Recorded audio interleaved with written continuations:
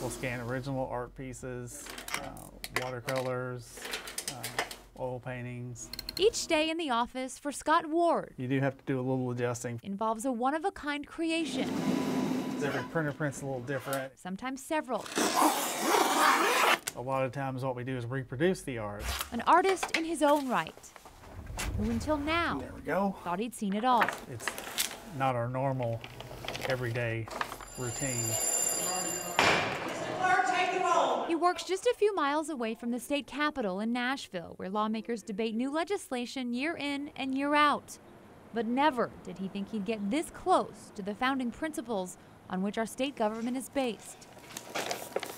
The original version of the Tennessee Constitution, now in his hands. That's exciting, you know, it's, it's an honor to be chosen to do something like that. I was just gonna open it up like a spread. Scott's job is to carefully reproduce each aging, fragile page.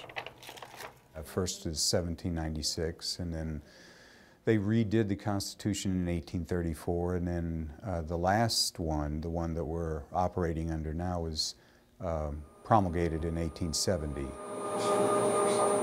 The scanner's doing a pre-scan, it'll run under the light so I can mark off the exact area. Centuries old pieces of the past. on this section. 33 abolishes slavery. that starting this week are making history yet again. It is the first. In fact, many, this is the first time many of these have been available to the public. Because once safely preserved through Scott's scanner, the documents can head to their new home.